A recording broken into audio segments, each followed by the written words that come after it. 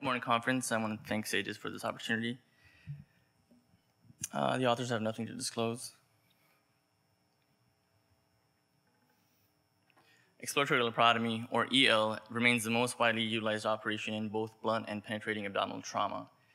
EL can lead to instances when there is no injury found or an injury is found that does not need any further intervention.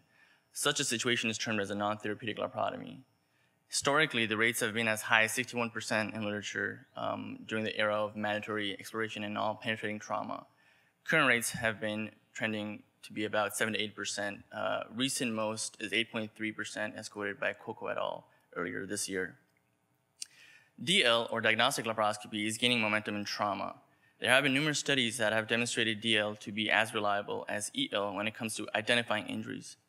DL has been shown to have an accuracy, sensitivity, and specificity that approaches 100% in stable trauma patients. However, the biggest issue associated with DL has been the issue of missed injuries.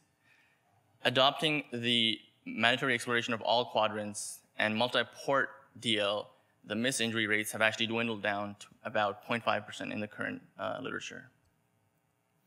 Several studies have reported benefits of therapeutic laparoscopy in both blunt and penetrating trauma. However, these are mostly single institution studies with limited sample size, and therefore they are not generalizable. There are no national studies evaluating the potential benefits of DL when it compares to NL. Therefore, our objective of this study was to look at the utilization and outcomes of DL in comparison with NL using the National Trauma Data Bank. The comparison group was chosen on the premise that NL were laparotomies that could have been avoided had the patient undergone DL. We looked at the National Trauma Data Bank for the years uh, 2010 to 2015. The ICD-9 procedure codes for abdominal surgical interventions were queried, including gastrointestinal, hepatic, splenic, urological, and vascular procedures. In stable trauma patients, the following exclusion criteria was applied. Any patient less than 18 was excluded. If a patient had codes other than a laparotomy or laparoscopy, they were excluded.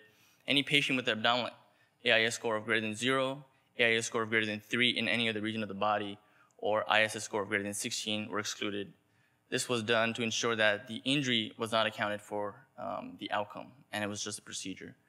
And any patient with a miss missing outcome variable was also excluded. If a patient met an inclusion criteria and underwent laparotomy, they were assigned to the NL group and if they underwent laparoscopy, they were assigned to the DL group. We performed descriptive analysis. The baseline characteristics and outcomes were uh, compared using chi-square and t-tests where appropriate. Multivariate analysis was performed to assess for independent variables and their associated outcomes.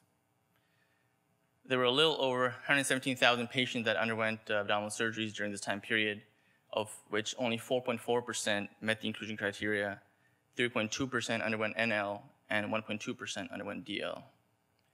This diagram shows how our patients were selected, and for the purpose of this study, 3,705 patients, or 3.2% of the patients underwent NL, and 1,416 patients, or 1.2% of the patients underwent DL, and it was this, these two groups that were uh, assessed for outcomes.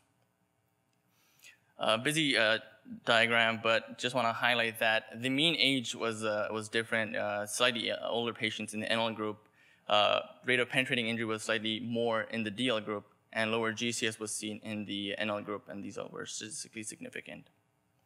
Looking at the outcomes, um, NL group had a higher mortality, length of stay, and morbidity.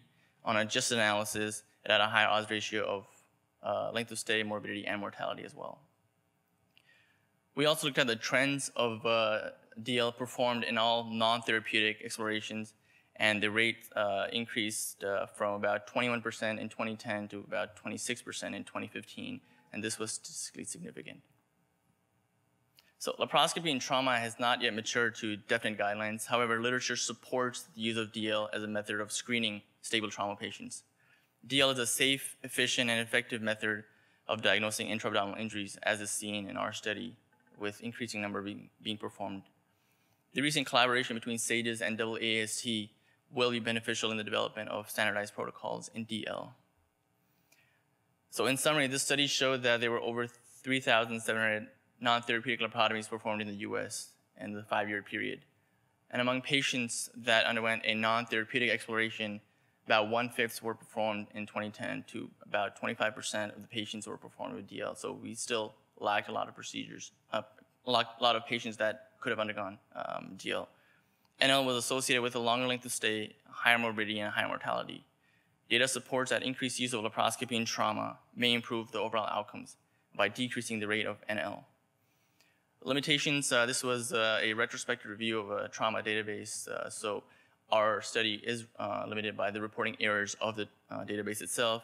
Although we compared patients with similar injury profile and physiological factors, uh, subjective reasons could have come into an account when a procedure was chosen, and that could not be captured by the database. Also, long-term outcomes such as hernia and incisional hernia could not be assessed due to the database. So in conclusion, uh, DL should be part of the armamentarium of trauma surgeons. The favorable outcome profile of DL highlights the importance of utilizing DL as a modality in stable trauma patients. However, future studies should be directed at elucidating the role of DL as a standardized screening modality in trauma care. Thank you.